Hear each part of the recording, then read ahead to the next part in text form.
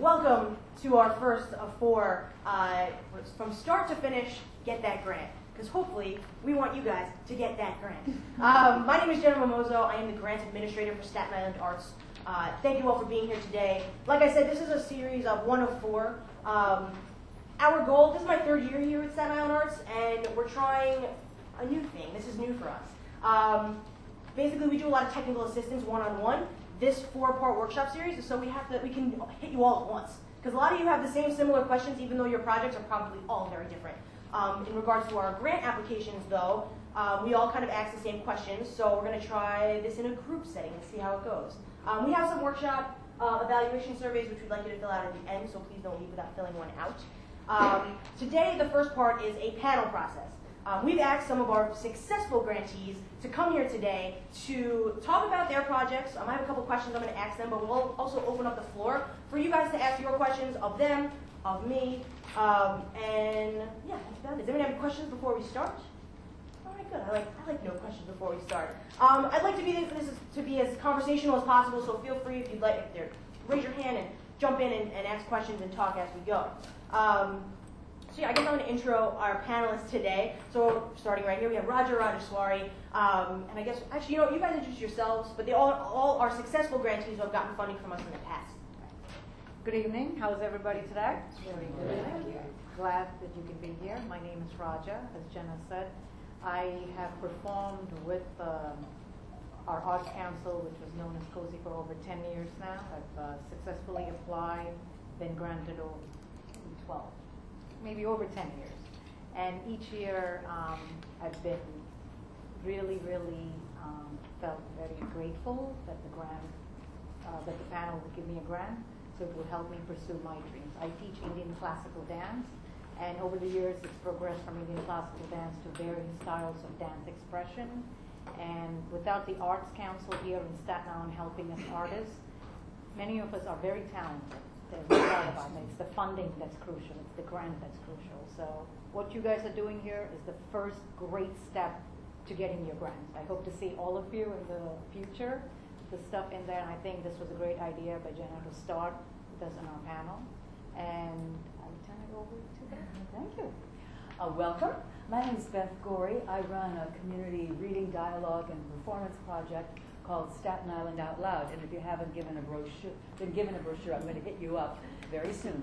Uh, we, we are in our 13th year. Uh, we didn't apply for COSI grants for the first couple years, so I think we're in year 10 now.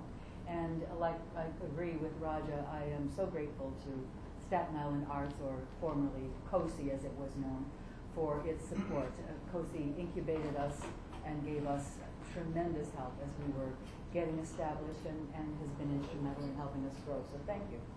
Um, and uh, very happy to share information on or tips or personal experience on what to do and what not to do. Larissa. Thank you. Hi, everyone. My name is Larissa Shiano. Um, I have been granted two grants from, um, first from Council of the Arts. I'm actually a newer artist. I've been, when did I start? I think I started in 2012 when I first applied and I got a, a premier grant. And um, it's really because of COSI and Staten Island Arts that I've actually been able to like really follow my dreams and do the things that I've really always wanted to do. I have a dance company that I work um, that I have, and the project that we're currently working on is I'm working in a Clove Lakes nursing home, and we're actually doing dance and movement projects with them, and we're telling the stories of their lives through dance and movement. So um, I must say, like out of all of the genres, dance was always something that was really underserved. So it feels really wonderful to see that so many people are really interested in seeing dance happen, and I'm just thankful for Staten Island Arts for believing in it and allowing it to really be accessible to everyone. But I'm so happy to be here to share any points, just as Beth was saying, any tips, and give you my own personal experience as a as a help for you to kind of help you build your grant application. Because I remember when I first started, like, where do I start? What do I do? You know, and like that nervous feeling, but you just know there's something that you want to share with everyone, but it's just like I need the tools on how to do it. So I'm happy to be here to help you with that. Great. And so thank you. So on our end, um, why we specifically picked these folks to come talk to you guys, um, I'll give you a little info on that. So Raja here, she is a, a, dan- a, dancer, which is an underserved discipline for, our, for us, and also she works in traditional cultural practices by doing Indian dance.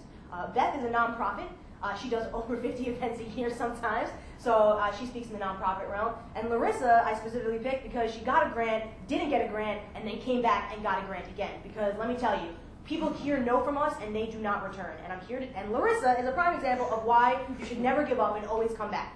Okay? So that's why we asked these three ladies to sit here today. So we're going to start. Uh, the couple, first couple questions I have, you guys can jump in on. I have some specific questions for you, but the first question I have is, uh, which Larissa almost kind of talked about, was uh, what information you guys get together when you're writing your application, and please be as specific as you like or not like. Um, but what kind of stuff you start to gather when you're filling out your applications? You start with Raja. Okay. Obviously, the first thing you need to do is figure out the project in your head. What, whatever discipline it is, you're a dancer like me, you're an artist, you're a performer, you're a presenter, you're a sculptor. First, you have to get that idea in your head. Then, the most challenging thing I think is for an artist to put it down on paper. Okay, we've all been there. I mean, you can have the most creative ideas, if you can't actually put it down on paper. So, somebody who is not a dancer or not a sculptor who reads it in the panel, then it's all, you know, French and Latin to them. So the idea is to get the idea down in your head, and then put it into clear, concise, simple language. In my other life, I'm also an attorney. I'm an assistant DA in Staten Island DA's office. I can tell you, I try, I try cases. I speak for a living. The simpler language is the better language. Cut to the chase. Keep it very short, very precise, very clear. Don't overestimate what the difficulties are going to be because some of them are going to be challenging. But don't underestimate your skill. Be confident with it. Do a draft, and then give it to a person who is not in your discipline, because that's who the panelists are. Panelists are very talented people, but not necessarily in your discipline. And see how it reads to a friend. And if they can understand where you're going, you get the clear concept. Then comes all the other parts about, you know, filling out the forms, check the deadline applications, you know, get your support recommendation letters, get everything else. But the thing that the engine that drives your grant is your idea. It has to be unique. It has to be creative. It has to tell the Staten Island art community what you can bring, something new, something exciting. Okay, so do a few different drafts. Have somebody read it, and don't be afraid to go back and read it. Okay. I agree with everything Raja said. Um, sometimes it's, it's hard, you're looking at a blank piece of paper. In this case, it's a blank computer screen because it's an online application. Right. Start with the easy stuff. Your name, you've got that down, your address, phone, and, and look up your New York City Council District, your uh, Assembly and New York State Senate District, all those little picky things that are essential. Your application will bounce if you don't have it, but that gives you a sense of accomplishment. You've got that first page done. Okay, now I can move on to page two or whatever. It, it helps you get the thing going. Uh, your work sample. Um, that's important. That's a big portion of the score that the panelists are going to give you, which determines whether you are awarded a grant or not. So start on that now. Start on that now. If you have it, bravo. You've got it. Send it off to Staten Island Art. I'm going to keep saying COSI and Staten Island They're the same company, They're the same thing. They're the same thing. Uh, get get that off now because that can be a kind of um, a, a kind of psychological impediment in some people's Mhm. minds. So get that going. Uh, similarly, the budget. Budget takes time. It's nitpicky. It can intimidate some people. It needn't be. And I'll be talking a little bit more about how this form is really very user friendly, but it's intimidating to people. And it, it doesn't get easier. I, I'm in my 10th year and it doesn't get easier. But start the budget. Just, just give yourselves uh, the, the aggregate numbers. Uh, $500 for mailing, uh, $600 for printing. You, you're going to adjust those numbers, but you get something down on paper or on your screen. That, that helps you get a sense of momentum. Oh, You two covered it very well. Um, definitely what, um, what Beth says as well, like filling in the information that's really easy to find, um, that does give you that sense of accomplishment. Because I know every time that I do fill out the grant, that those are the first things that I normally do. I fill out all the information that I have like on hand and I put that into the application. But I'm kind of building off of what Raja was saying with the project description. Um, I found with myself just really being able, once you do get it concrete with simple languaging, that you could actually visualize this project, that you could actually see it happen, and you really have like the groundwork for it that you could actually see it. And then with the budget coming into play, just playing it out piece by piece, writing everything down, saying, okay, well, and even if it's a roundabout average, like this would cost this much money, which Beth and Raja already spoke to. But um, as well as the work sample. The work sample really speaks to the project description. So I know for me, I'm going to just speak from personal experience. In my first grant, when I applied for it, um, it was my first time, so it was like a little different, my project description, compared to the third time that I applied because it was a more specific project. The more specific the work sample is, that kind of speaks to what your project is, it gives you a better, clear understanding of your capability, your abilities as an artist, and what you can create. The work sample does not have to be exactly what you're proposing to get funded, but you want it to show that this work sample shows that I could do this project. And you want the two to really link so that when they see that, be like, yeah, this is Kate, this is this could definitely be made. And I found that that really worked for me when I started getting more specific with my languaging in my project description, as well as really tailoring my work sample to really show my abilities as an artist and let them really complement each other. I found, and I felt more confident about it when I watched it. Like I, I read and I was like, yeah, this makes sense. This actually works. And I find that really helped me with my application. That's great. That actually leads to my next question, which was, what do your work samples look like? Hmm. Um, and like what maybe, and especially if you guys have, especially for Raja and for Beth, who do reoccurring programming, because Larissa, you're kind of in like your second time of doing it. Yeah. But if you do are doing reoccurring projects, uh, 'cause you said like 10, 12 years, and you've been a, a grantee for a while, um, what are some things that you might do, do differently in your applications, just to show a change or to show some growth or things like that? Would you mind speaking to those things? Sure. Um, what Beth said about the work sample is absolutely correct. That's probably the most important visual. They say, you know, a picture is worth a thousand words, a video is worth a million words, right? It is the first time the panel is going to see you and your art form. So the impact has to be great. The other thing that uh, we have said here is whatever work sample you do, let's say you're doing an improv for family or you're trying out something new or it's a creative idea, record it take pictures, take videos, take recordings, and don't be afraid to look at different work samples. Um, one of the questions was, I've been doing this for about 10 years. How has my work sample changed? I don't remember what my first work sample looked like. I've been a teacher and a dancer for many, many, many years. But I would like to think it's improved over the years. It's gotten more refined and more creative. But one of the things that I'm able to do is when I do my performance or my interactive segments, I interact with the audience, for example. I teach them different hand gestures. The audience get to enjoy it, they get to participate in. If there is an interactive segment, take a snapshot of that, take a video of that, and incorporate it because it just shows that you're getting the audience involved. If it's an artist, if it's a painter, right? Take it in different work samples, in different lighting, in different creative ways. And they give you a lot of leeway in different ways to submit it, right? Mm. So don't be afraid to try a few different things and see which which media, for instance, portrays it the best. Okay? So be creative, try it out, and always that's what friends and family are for. For them, all the details. Show it to them. Because they can be your best sounding board. You know what I mean? Before it goes to the panel. And and try it out. Okay, art is all about not just their creativity, but also getting them. It's, it's a process, constantly. So show it, be creative, and tinker with it. Don't worry. And uh, I found that the Arts Council, the, for the, is there any first-time applicants here? Okay. Like Beth said, the details, the devil's in the details. You've got to check off every single thing and fix them. But they do realize the premier grantees for the first time, with the work sample, with the stuff and that, they are very, very creative, good panelists who sit and watch this. So don't be afraid if you don't think it's perfect, but still give it your best shot. Uh, I agree. We're, we're just going to keep saying I agree Yeah. with what you said, but That it's agree. because it's good information. Um, I, I can just give you um, a, a window into uh, our evolution of work samples. Our first grant application was maybe 2003, when uh, technology has changed remarkably. It's unrecognizable what's available to every Tom, Dick, and Harry, or Tanya, Diana, and Henrietta these days. You, you can do things with your cell phone that were uh, it was unthinkable 10 or more years ago. Our first uh, work sample, and I, I mentioned that we, we progressed for a couple years without applying for a grant. Our first work sample was simply photographs of events with descriptive captions, and it was like a little storybook. Now you would do this with a slideshow, a digital slideshow with captions. Uh, if you can take a, a cell phone video, th- what Raja said is absolutely right. They, for, for first-time grantees, they do not expect a Steven Spielberg production.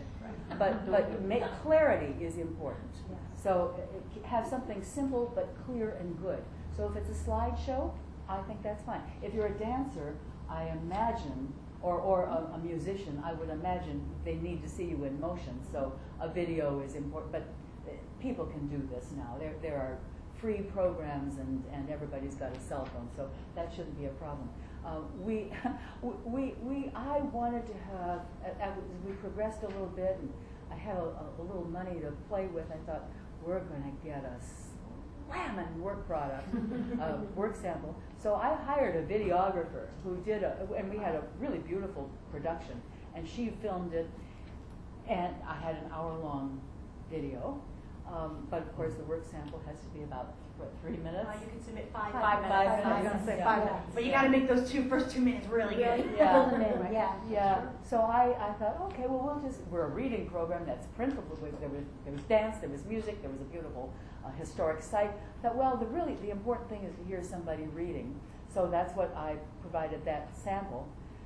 And uh, we got the grant, but the, afterwards, when I got the re- panelists' notes, more on that later, uh, they said, your work sample really sucked. And I said, what? Do you know what I spent on that thing? Well, it was because what I showed them to demonstrate what we do, the core of what we did, it was kind of static. Okay, back to the drawing board. And, and we, we ended up going with, with future videos that were much simpler. And then finally, we got a couple news feature videos, and those are, those are little mini three-minute films that are nicely produced. And that's what I am, using now. We'll have to, we'll have to change that up sometime very soon, but, uh. Okay, I take her advice. Um, that, that, yeah, my point is simply that you keep it simple. Don't think about spending a lot of money because I'm telling you, it ain't gonna help you. And, and it, you just tell your story clearly. Hmm. Um, I, I would also see, say be very flexible with it. Um, sometimes as an artist you have a very specific idea that you have to create and if it's not that, you, you get like very frustrated. So um, I know that happened to me in the first work sample I was doing. I just I kept doing it over and over again, and it just wasn't right. But then I said, you know what? Let me drop that and let me just do like the highlights of my best work, and I'm just going to submit it. So I gave like little pieces of different dance, my dance choreography, and I did that and I submitted it. And it was really so much simpler than what I thought in my mind of what it should be. But I, it was just very clear and concise and direct, and it spoke to the project description. On my last work sample that I did, it really connected to my project. So, because that, that time I had an opportunity to create that. Because the first time as a premiere, at uh, doing a premiere grant, they don't know who I am. They have no idea of what I'm doing. So I said to myself, how could whoever's watching this, like really see me for who I am as an artist when they watch like the first minute or two? As Jenna said before, you want to pull them in for those first two minutes. Because I've sat on a panel as well, and you know, like you, you see how different people do their work samples, and you see which ones are the most effective and which ones aren't. You know, and I found the ones that I know I was a yes for with the application were the ones that were that pulled me in in the very beginning. So I think that's really key when you are making your work sample that it's very intriguing from the very beginning, and then it does really show your best work. But at the same time, don't be so concerned with the fact that maybe the video has to be super clear or things like that. Like as Beth was saying, it doesn't have to be like super quality. Just as long as when you watch it, it really gives a clear distinction of what you're able to do and what you could really share with the world.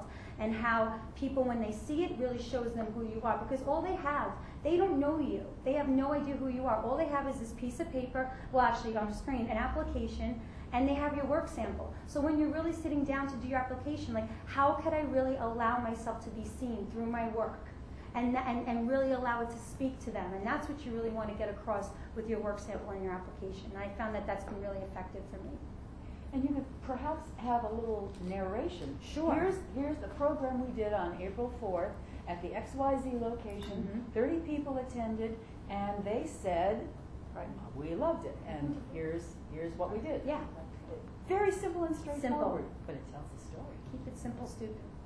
That's what always. I remember in college, my right, my teachers said, keep it. I used to write these big stories. Keep it simple, stupid, and when I, then I would get an A. I'm like, all right, that works. It's true. Very simple, clear, concise, and to the point. Yeah. Thank you, ladies. All good advice. Um, so now we're going to get into some specific questions. Uh, so start with Larissa. Um, you received a grant, and then the next year you were denied the grant, and then you came back stronger and you got the grant again. Could you talk a little bit about like that experience of like getting the premier grant and then getting denied, then coming back Sure. and getting the ARC One and grant? I'm going to try to keep it as clear and, and Yeah. specific with my with my languaging. So the first year, I applied for the Premier Grant, and as I said, it was a project. It was called Conversation Pieces, Moments in Time. It was just basically um, me presenting myself as a modern dance choreographer. So me just creating a brand new work. I created seven pieces, and um, I with my dance company. And I had a work sample that really showed the capabilities of myself as a choreographer and my dancers. And I got a, I got a nice grant for that. My second grant, I didn't spend as much time preparing it. I was involved with my yoga teacher training and I was all over the place and I did it like last minute. Like it was kind of like me throwing something together. And you obviously saw it in the idea of the, of the grant as well as my work sample. When I read, when I go back and I read what I put for the for my second grant, it's not direct. It's all over the place. You can't really visualize it. And I said, oh, that's why I got I didn't get funded. But I knew I was able to do it.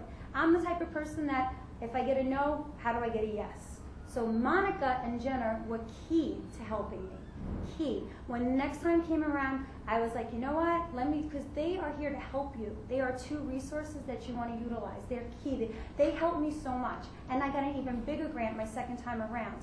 Um, and the project that I'm doing now, um, the work sample spoke to the project, as well as my project really spoke to a specific population which I think is very key to think about. Like really touching to a specific population, how it could affect the community, how would the community respond to what you're doing, and really thinking about that. So my, my third, the second grant that I got, it really spoke to a, a specific population. It portrayed my capabilities as a, as a dancer and, and even like outreach work that I could do.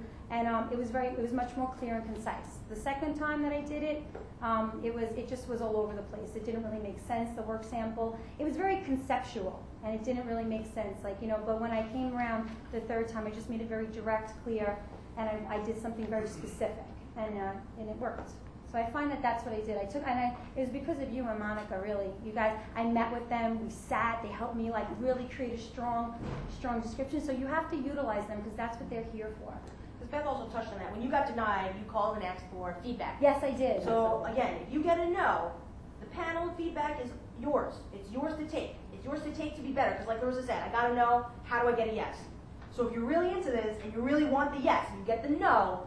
Don't think that it's us blowing you off or that you're not good enough to get it. You are good enough to get it. Nobody's perfect though, right? Nobody's you can't perfect. take it personal. Yeah, it's can't not. take it It's not personal. It's more about like your project and the work that you presented. You get the feedback from them, and then you just shift it. And when you approach it from that sort of energy, it will come back to you in that same way.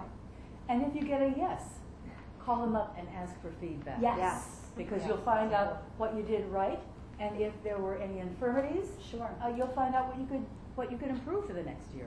Right. Again, with, and with pan, uh, they keep saying panel. If you're not familiar, Monica and I do not decide the grant. we collect community members and we bring them in together in a room, and they are they read all your applications and they hash it out. I'm there to make sure they're fed and that they're happy and that they're not know not too hot, not too cold, that they're well fed and all that stuff. So that's really my job. I facilitate. We do not decide the grant program, which is why it's our job to make sure that you have the best application moving forward. Which is why we provide feedback and we provide this, things like this this workshop, things like our grant application workshops to answer all your questions and hold your hand through the whole process to get you to where you need to be. So panel feedback is always important because again, no, they don't uh, assume that they do not know anything about you, that they don't they don't know you. They're not even if you've been doing art here for 50 years, doesn't matter. Assume they do not know who you are, because that's the best way to go into it. Okay? And, and, and uh, Yes. So- Anyone?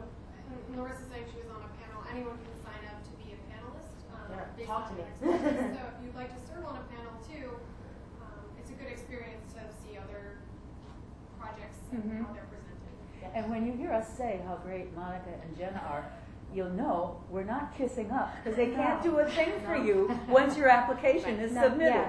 So it's sincere. They help you on the front end and they help you on the back end. They can't help you get the grant. Question. What's the application schedule? What do you mean? The deadline. the deadline for Oh, sure, year? so grants will be, uh, released, uh, Friday, tomorrow, uh, probably in the, uh, probably after work, so I'm, I'm gonna do it in the evening, so it'll probably be released tomorrow night. Uh, and then the deadline is October twenty-fourth. So, The firm I'm what are you releasing? The applications, they're all, they're all online. So, uh, in order to apply for the loan grants, which I have here, so if you, as a first-time applicant, you are required to attend an application workshop. I do them all over Staten Island, I'm doing seven this year.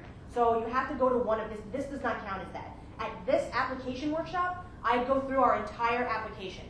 And it shows you how to get onto our online system, it shows you how to log in, create a profile, and then I go through each question.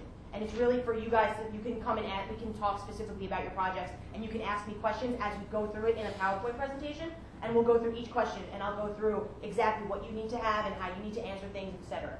So you have to come, as a first-time applicant, you have to come to one, one of these seven workshops. Yes. What is the next one? The first one is Wednesday, September 10th, uh, at the conference house, which is a little far. Again, I, we service all of Staten Island, so I do them as far as the conference house, and I will do. I think the closest one uh, will be Stapleton Library.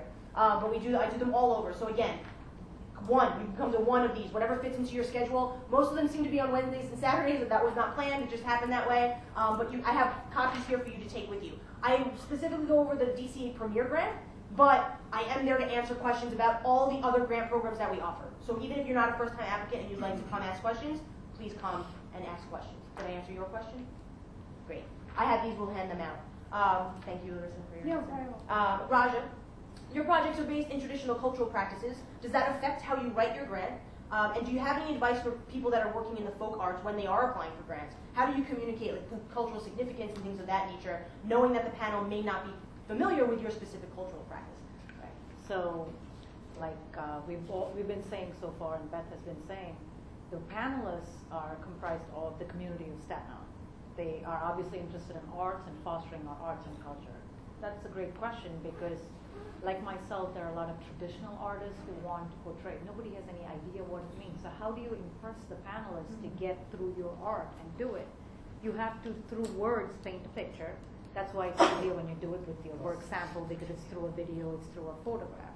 But what you try to do when you're trying to represent a traditional art or long forgotten art or something from outside the normal cultural scene is you explain what the significance of your art is. And that's not enough because, okay, the art is great, it's wonderful tradition from 3,000 years in India. How does that help me in Staten Island? You see what I mean? You have to connect it to the people here. How do you affect the community here? How do you connect it? You connect it by showing through art we reach everybody. Okay, through art we connect. Through art we communicate. Doesn't matter if you're from Africa or India or where you are from. The language of art and dance is universal. You can portray a story without words, without language. You can communicate. You can get the community involved. So you have to bridge that gap. Not just say, let's say I'm going to do Peruvian folk arts. It's wonderful. How does that relate to Staten Island? Because that's one of the prim- premier questions. If you're a painter, yes, I love painting beautiful stuff. Great. What does that have to do with enhancing the Staten Island cultural community? Then you get to mention, like, uh, like we said, dance is one of the underserved disciplines. Mhm. There's a lot of different underserved disciplines. Through your art, you're hoping to reach people. Mhm. You're hoping to enlighten. You're hoping to bring communities together. We learn about other cultures and other communities. You foster understanding. You foster understanding, acceptance of other cultures. You see where I'm going? It's just not a dance. It's to bring people together. So you have to try to put significance of your art as to how it connects to Staten Island. Otherwise, it's just, it's wonderful, what does it have to do with the cultural development of Island? Okay, so read the questions very carefully, and my fellow panelists were not overstating it. They are amazing. Right, Jenna. I've called her still after doing it for 10 years. Uh, Jenna, with this grant, uh, no question is too big or too small. They are amazing. So call, ask questions because it's better you know the stuff you're doing right or wrong now. Then, of course, feedback is important when you get rejected. But the goal of these workshops is you don't get rejected. We Mhm. see you at the award ceremony with the rest of the art. All right? So go through them. Could you just give an example how you connected to the community? like I said, how do I connect to the community through my dance? A lot of my dances that have evolved over the years are not traditional anymore. We do East meets West. I thought it's a great concept, right? Because as great as all the Eastern cultures and dances are, we don't understand the language, right? Uh, dance connects it. A few years ago, I had come up with this concept of East meets West, and we had taken very popular songs from Disney, from movies that everybody knows and everybody will hum to, and try to choreograph it through traditional dance. But the goal is to keep the dance pure, but at the same time make it mix, so it doesn't look like it's not mixing. And when we put that on, of course, I was nervous. The entire audience started humming the tune because they know the song. But we're explaining it through dance to show how different cultures can actually enhance rather than have us compete. Right? We live in a country and a culture where there's so many different religious wars, there's so much uh, unnecessary fighting. If you actually understand other cultures and see that we are more in similar than we have, you know, dissimilar uh, features, it can help community come together. So we have people in my audience. I'm very blessed. It's usually from everywhere. We had everybody actually singing the same song and watching Indian classical dance. But they learned so much about something they did not know. The last performance I did, I explained the significance of the bindi, and I had given one to all the audience. So a lady came to me and said, are you coming back next week? Am I going to get a different one? I said, you got to talk to John. Have to do more. I need more funding to do this. This is more expensive. We can't do that. But you, you connect to your community and your audience. They can teach you and you can teach them, but it's the idea of bringing them together, right? Otherwise, it's just a recreational dance, and that's not what we're looking for. We're looking to impact the community. So in your own discipline, you have to see how that will connect to the community and bring people together. Uh, I just want to touch on something too that Raj said, underserved disciplines. Yes. Um, every year we go back and we look at our disciplines that we either aren't serving or just haven't been applying often. So every year they change. This year uh, we have four underserved disciplines that we're serving this year. What that means is when we, we pull a panel together, we ask panelists to specifically look, take a, second chance on these guys because we aren't necessarily funding them in, in large ways, and we want to fund them in large ways. So this year, our underserved disciplines are literature. Um, that could be book printing, book signings, uh, magazines, things like that. So literature, uh, 3D, 3D installation, digital art, new media, um, folk arts, and what was that last one? I think the last one. Should work with literature. It'll come to I you. think, I think sculpture and 3D digital art are, Right. two, are two separate. Yes, yes, yes, yes, exactly. So those are yes. Um, new media, does that fall under the um, guidelines as um, production or non for non non for profit productions or? Uh, it depends on what you're producing. Depends on what you're producing. So new media, I guess, would be digital, like video, like not film work, but video, di- like video artwork. Video artwork. Yes. Uh, yeah, exactly. So that would be like something we would consider new media. Not like I'm making a film that's a narrative piece. That that's not new media. If that makes any sense. So if anyone Like comes to the Lumen, that's what I'm. right? So documentaries is not new media. But if anyone's been to the Lumen Festival, the video projections and stuff that you see at Lumen, those are new media. That's what we would consider new media. Okay. Uh, but those are again, I can talk about those in the application workshops, uh, which I will again you'll be attending if you're a first time applicant. Um, thank you, Raj, for your very very astute answer. Um, Beth, you're up next. Uh, your your grant funded projects take place all over Staten Island. You use many different venues and you work with many different people and artists. Can you talk a little bit about how to do that and what and what the experience is doing all that work? Yes, yes. Well, it's a lot of fun. We, we do, we do um, I think, a minimum of four to six events a month, and some months we do eight, ten events a month. It's, it's a lot. It's a lot. And getting all that, when you, if you haven't done an application before, you're going to see it's, it's little space word character limitations. So it's a lot of information to pack into a little space. Um, so for that, and, and this is my advice, no matter what you're doing. Uh, let me just, before I say what the advice is, let me just ask a question and ask a favor. If you've ever procrastinated just a little bit, would you raise your hand? And my hand's going up first. Yes. yes, yes, we've all done it. We've all done it. We've all done it. And we've all done it. Larissa talked about putting it off to the last minute. Oh my God! Oh no! Yeah, don't. don't. We've all been there. It's the worst thing we've ever done. It's miserable. It's a horrible experience. It's a terrible feeling. Yes, it's a terrible mm-hmm. feeling. It's a terrible feeling. So our mothers said, start early and plan ahead. Do it. Do it. You're in the catbird seat. You are what? Five weeks, six Yep. weeks ahead of twenty fourth, twenty fifth, 25th. twenty fifth. Oh my God! Yeah, it's what it's it's it's. 31 days. Almost Whatever. almost two months. Whatever. I'm not a CPA. Uh, so, so this is great. T- tonight, go home and just, like I said, look up your uh, council district, your assembly district, your senate district, and, and write out just four sentences on your artist statement, your, your program description.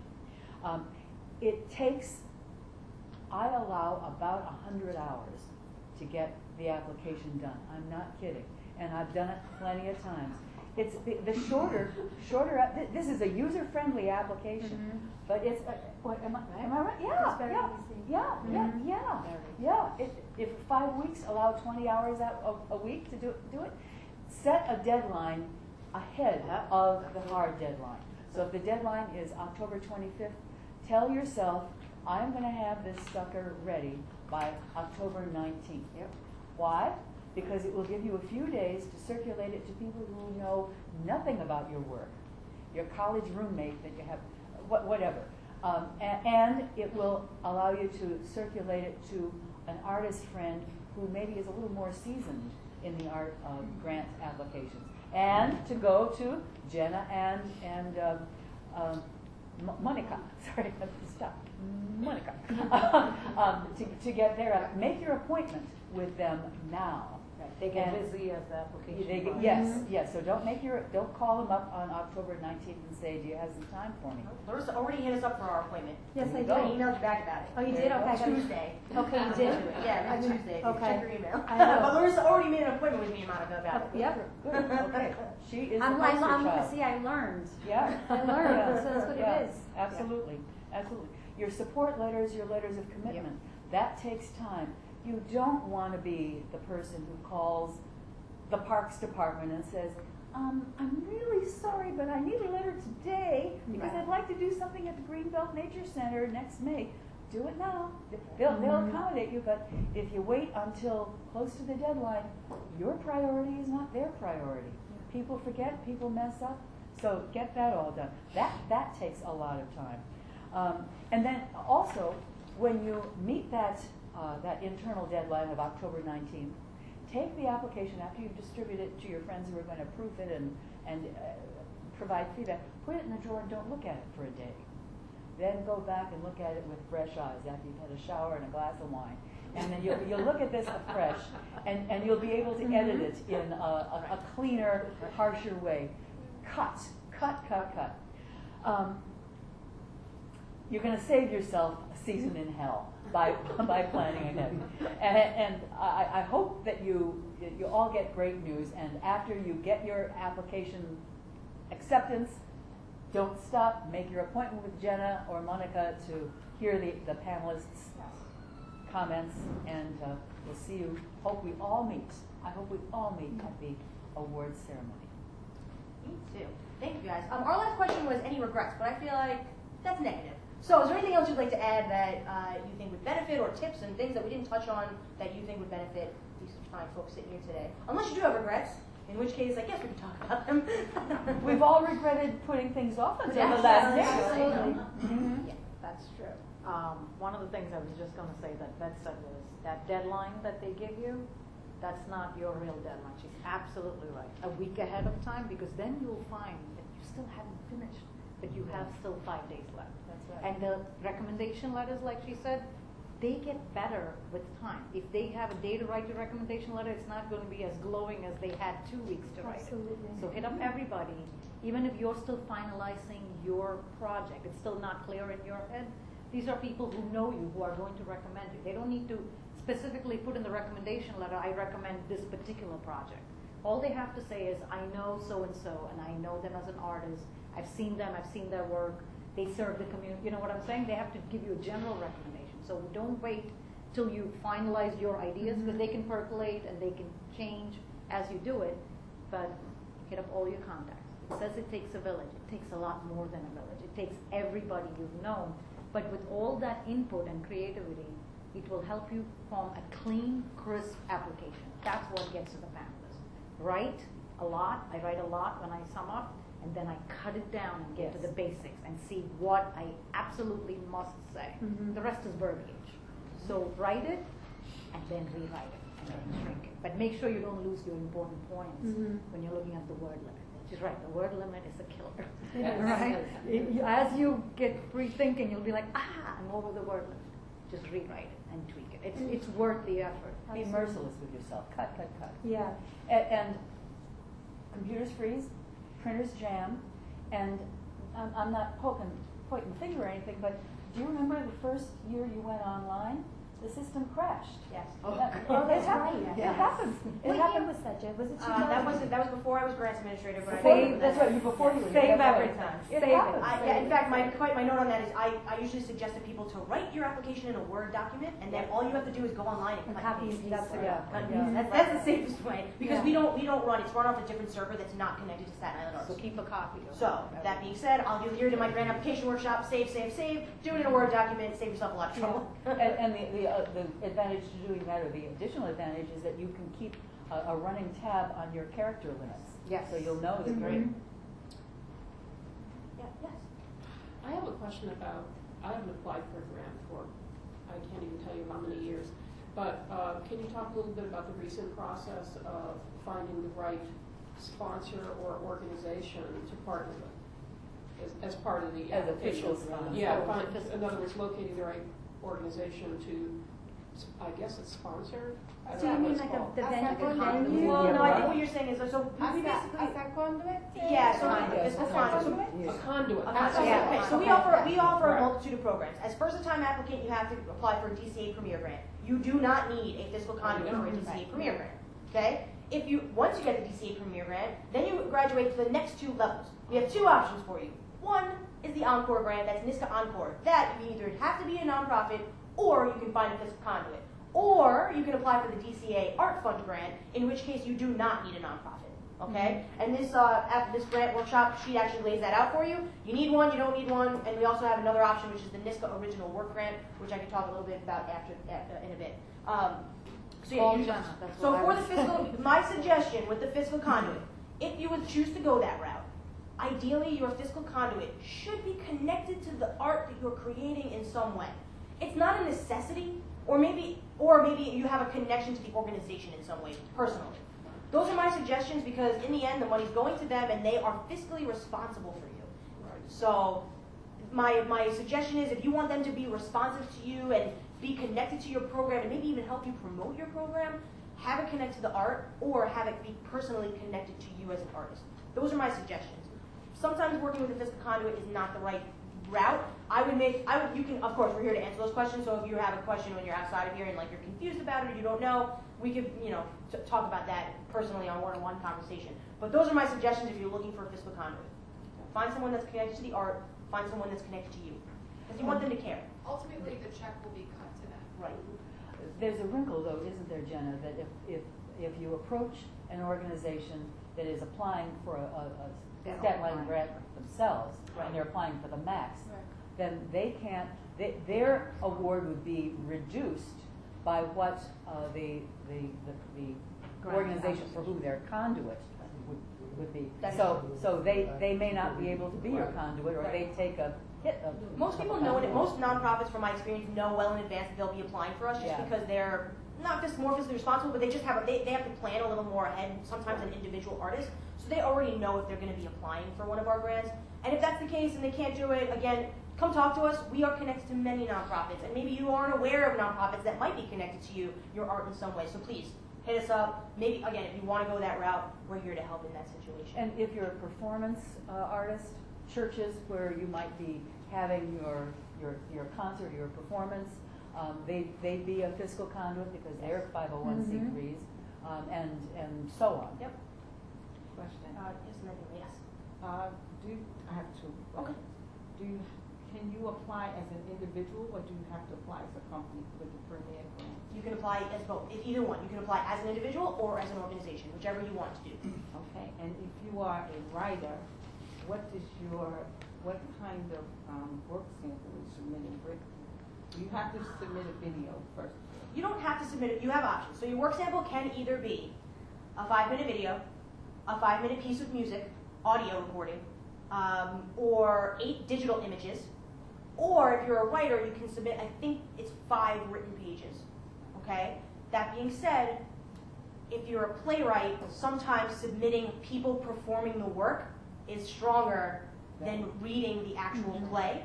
But if it's not produced yet or hasn't been produced yet, then you'd be, you'd be submitting the writing sample. So that being said, literature is one of our understood disciplines, so submitting the writing sample isn't necessarily a bad thing. It's not bad. Okay, it's not a negative thing. Did I answer your question? Yes. Okay, so let's Irma and then gentleman in the back. So. Well, I just wanted to talk about the conduit. Also, the conduit or the fiscal sponsor or, or that you are applying through. Sometimes also those organizations will take a percentage of your grant. So you also have to be aware of that. So if uh, that works for you, or did they take in too much, or they, or they might decide not to take any of your grant and just trust you, give you the money, and be responsible for your work you, you're producing. So it's just something to be aware of it. So, so as, as Jenna said, not necessarily has to be in the same, doing in the arts, but it could be a, con- a, a conduit that is working in health or something, but they're also interested in working with the community, then, then if it works and the Staten Island Arts accept it, then it's fine. Mm-hmm. So, I like what you said. The, the conduit does not have to be an art conduit. It could be a different kind of nonprofit that's interested in the work you're doing. Again, I do think that having some sort of connection, personally, just you want them to care enough to give you your money on time, enough to keep an eye on you to make sure that you're spending your money correctly, and you don't want it to be a tenuous relationship. You want it to be beneficial and helpful to everyone. Okay? You have a question? Um, we were saying as far as applying as corporation or as an individual. Mhm. Um, as an individual, is it more like applying for like a, uh, a bank loan or is Nope. like, what are the requirements basically that would be like the underscore? Uh, that, that is a good question, but I go over that at the application workshop. So in, in depth. But I mean, it, we're not looking at your financial statements, but you do have to submit a budget template. We provide the template. You just have to fill out the numbers. Oh, Okay? And again, I will go over all that at the application workshop, which you'll have to attend. I'm not gonna call my landlord and be like. No, no, no, no. We do not. We do not make call. No, no, no. It's not like applying for a bank loan at all. It's not, that's fine with that. You are responsible if you are awarded to submit a final report in which you have to submit receipts. So if we give you three grand, we want to see receipts for three grand. All right? I'm not going to call your mom about it.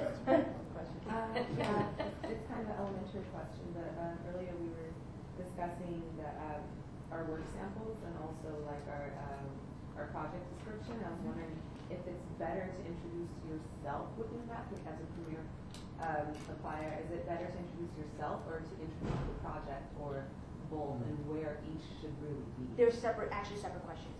There's a spot for artist bio or artist statement, and you can upload a resume and include a little artist bio, and then the project description is It's separate. completely different. Yep, So I two don't separate- have to reintroduce Nope. myself in the No. project. Separate questions. Separate Okay. questions. Because Save there's the space for your project. Absolutely. You need the Mhm. space. I, I think one of the important things also of applying for a grant is to read the guidelines. Yes. You read all the guidelines and then you go question by question and try to think about answering the question. because it takes time. It takes Mhm. time and it takes years as well.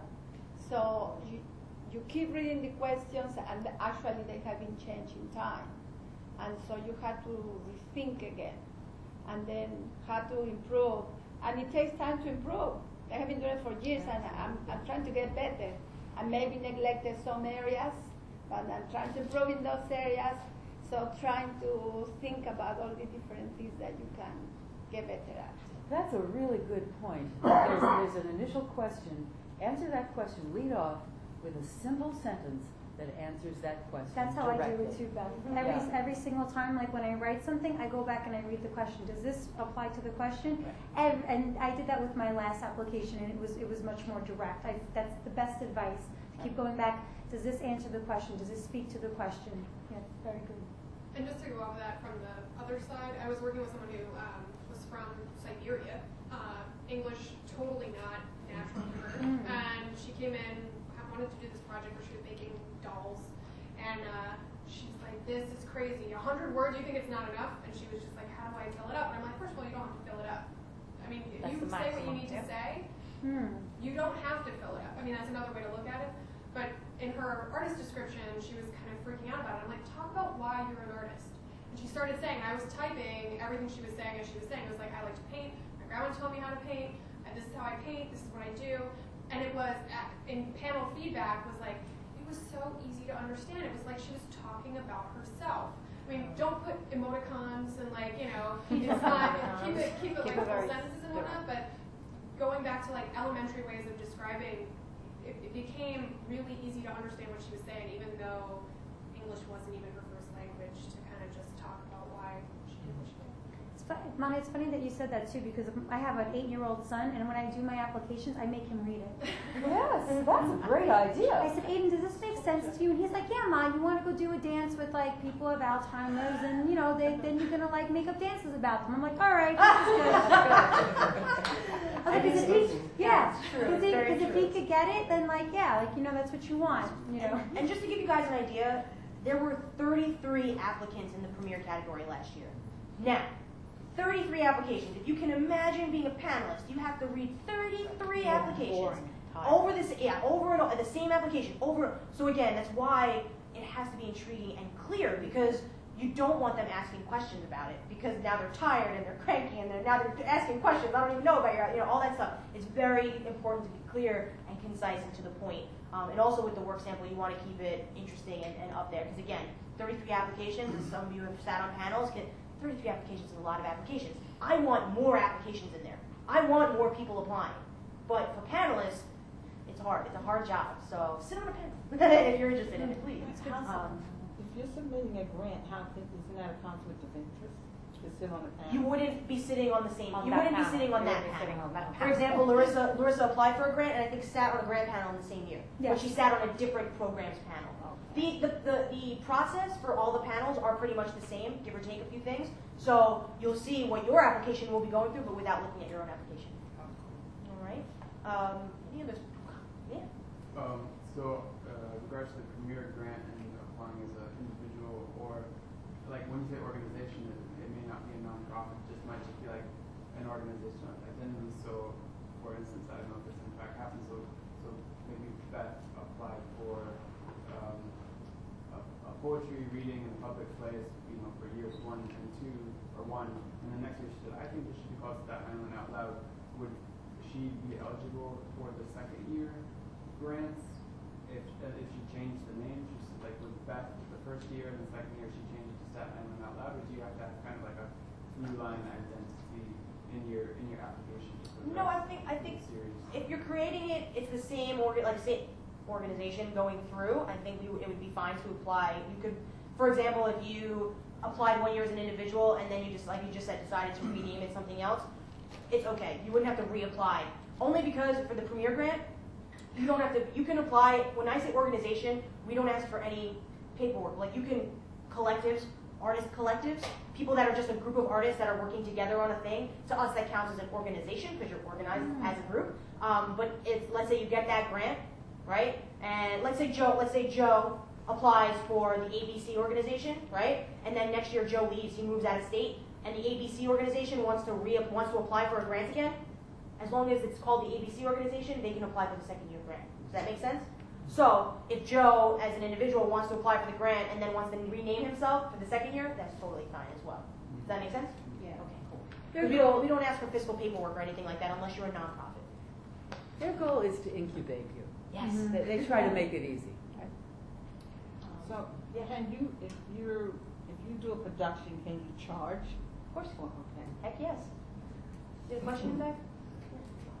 Yeah.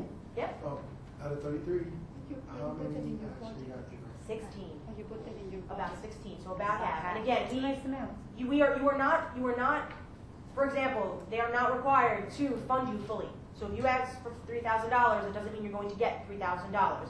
That being said, our goal, again, I am the facilitator, so you are not allowed to get less than seven hundred and fifty dollars as a first-time applicant. But as a facilitator, it's really a part of my job to make sure that they are awarding you enough money to do your project. Does that make sense? So if you apply for three thousand dollars and you and you for the, the, in the panel, they can hash out your budget. So you want to make sure those numbers add up and everything looks clear and concise. But if they try to award you not enough money, what's the? It's kind of a waste, right? Because now you're stressed out. You don't have enough money to do it. It, it becomes like this very stressful experience, which is what we don't want. So it's part of our job to make sure that they award you enough money to do the project, right? So maybe you get a no, but maybe it's because they couldn't award you enough money to do the project. So again, you're getting if you get a no, come back and talk to us. It doesn't mean we hate you. Um, but again, they they will they're not required to give you the full amount. So plan ahead. I my suggestion is always pl- plan to do it for the least amount of money, but ask for the most amount. So when you get the least amount, still okay. um, that's how I got my grant. um, yeah, I, I, I, am, I was also a recipient before I started working for Staten Island Arts. I did a theater festival, which I was awarded for. So I aimed for five thousand, and I knew I could do it for like two hundred bucks, and they gave me the full five thousand. So well, people get paid. Yes. Are you still required to get a percentage of your budget from somewhere else? Yes. Yes. As a returning applicant, yes. As a returning applicant, uh, when you get up to those higher categories, um, and even for our DCA Premier grant, the grants are not supposed to fund the entirety of the project. Um, Carolyn, who has gotten grants from us before, will know for the NYSCA grant, you have to come up, I think it's uh, 40% for the first time and then 60%. Can, uh, sorry, 60%. It can cover up to 60% the first time, but then it can only cover 40% the as you return to us. Okay, and our budget templates calculate all that for you, so you can actually see how much of our money is funding your project. For the Premier grant, a little different. Um, it's not so much stressful as the NYSCA Encore grant, but for the DCA Premier grant, we're not supposed to fund the whole project. You should be showing some sort of contributions or income coming from somewhere else. Now, you have to show some sort of income. That being said, it's selling CDs, it's selling your work, it's make you know. And again, if you're having trouble coming up with income, we're here to help you with that too, and figuring out how to make money. I mean, the problem, a, major problem that we face every day or that we're trying to help is like, you're artists and it's a job and it's your job and we want to make it your job and we want to do it forever. Like, I don't want you to have a nine to five. I want you to be an artist. Okay, so if you, you have to treat yourself like a business, so showing income is really important. Okay, uh, and I know it's really hard. I, I, as, a, as an artist myself, I don't know how to make money on my art, but I'm going to try to help you do it. it's easier to help somebody else do it, but you know what I mean? It's really important to look at yourself as a business sometimes, and you want to show some sort of income. Any other questions? Yes. Um, are you able to, on the, like, are you able to submit two types of media for what you're doing? Say I wanted to submit a book, but also an audio book, not make you all have to read, but you can like flip through it and listen as you flip through it. So yes and no. uh, as a work sample, what you would hand me, you would give me the audio file. In the application, there's an optional upload area where you can optionally upload things.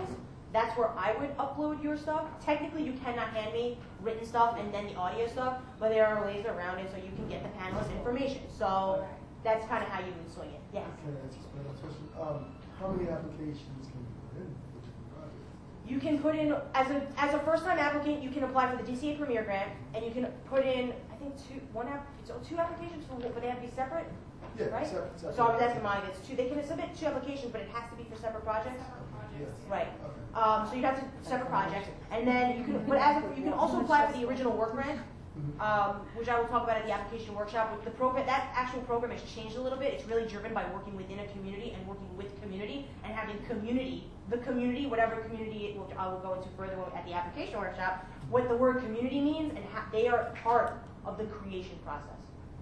Okay. That said, we did have somebody that applied for two grants one year and got it in separate categories Yes. and regrets it in- entirely, just because Yeah, I it's was a lot of gonna work. say, He- favorite one. Yeah. Two projects at once, so. Two projects Yeah, is he, way too yeah, he, he, he regrets it every day. Close the book and This so way I also have a job. Not only is that, remember, once you get the application, you have to do the project, Yes. right? And it's a lot of work. My advice would be, mm-hmm. especially if you're a premier, do one application, blow the socks off the panelists, get that and do it well and follow up. And the most important tip is finish your final report.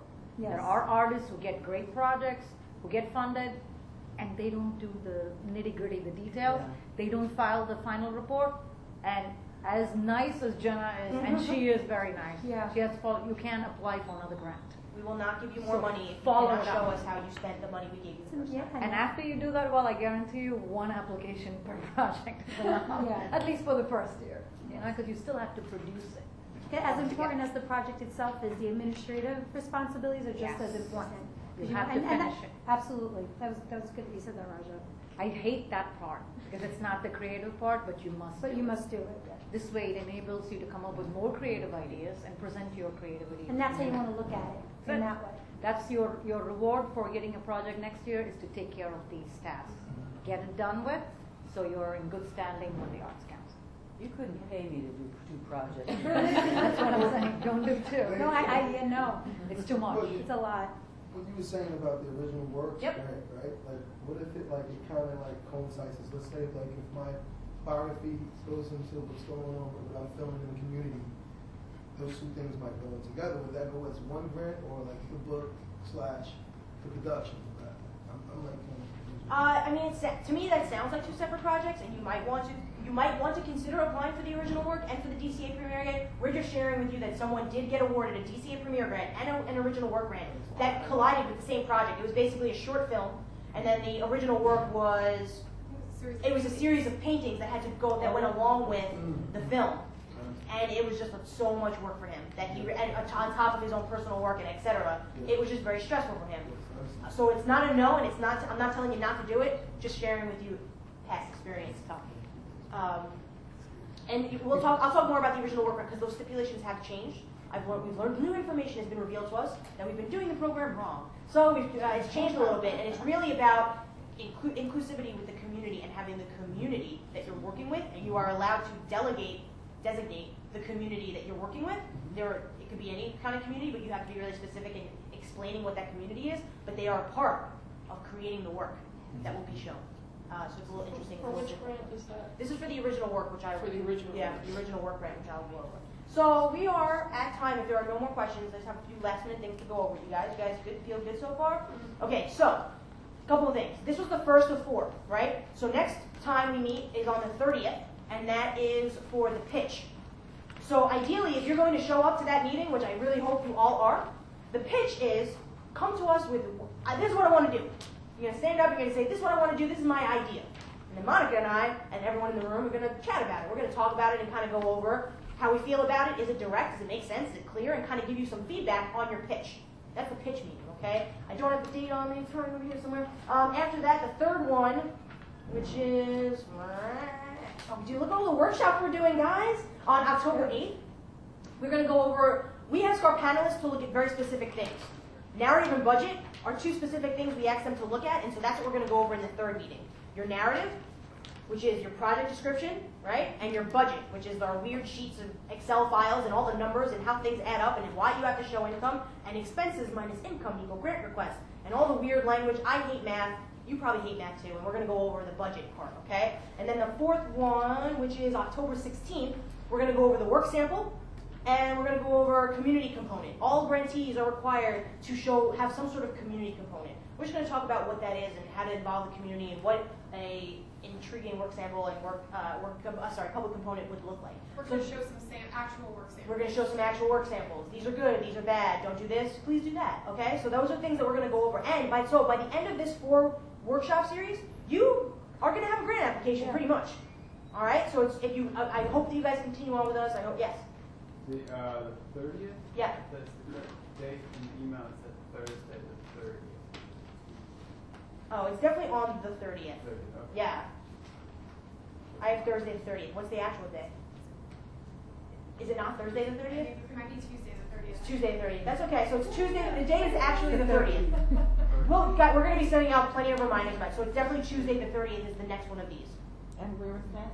That is at the Cultural Lounge, which is our new space inside the Staten Island Ferry Terminal, right across from the Subway sandwich shop. Um, and there we are going, exactly, we're going to be going over the pitch. So come with your idea. You have a month to think about your idea, okay? All of these are free? Uh, no, the next one is not. free. It's ten dollars for members. Okay, so membership. Wait. So memberships. Our workshops and libraries have to be free because it's the library and they're open to the public. But membership for forty-five dollars, uh, you become a member of Staten Island Arts. You get free access to all of our technical assistance workshops all year. So if you look at this pamphlet, it's full. There's four pages of workshops here, pretty much. You get to go for free. Otherwise, they're ten dollars. So really, they're ten dollars each. So forty-five dollars, you're already making the deal. Become a member. There are other perks. You also get uh, invited to all of our gallery openings in the Staten Island Cultural Lounge, as well as some other things on here. I'm sure there's other things that we offer as members. But become a member. You get admission to all our workshops. You get one invitation to all our member events, which includes our gallery openings, um, and you get to vote on organizational issues that surround uh, Staten Island arts. So if you're an, in, if you're an artist here, you get to vote on things that we have to and cannot do and can do. So please, get involved, become a member. I feel like if you plan on coming to more than one of these workshops, it's worth becoming a member. You can grab out brochures and pay for that here. Um, I have these which we'll hand around. These are uh, the application workshop listings and gives you more information about our programs. Please take one of these and pass it around. They're, the, uh, workshop surveys. One is, are you guys having a good time? Did you benefit from this? We hope you did. Um, and you can come grab some upcoming workshop stuff and the membership brochures. Again, my name is Jenna. That's Monica. Thank you, ladies, so much. Thank you. Thank you. Good luck, everybody. Good luck.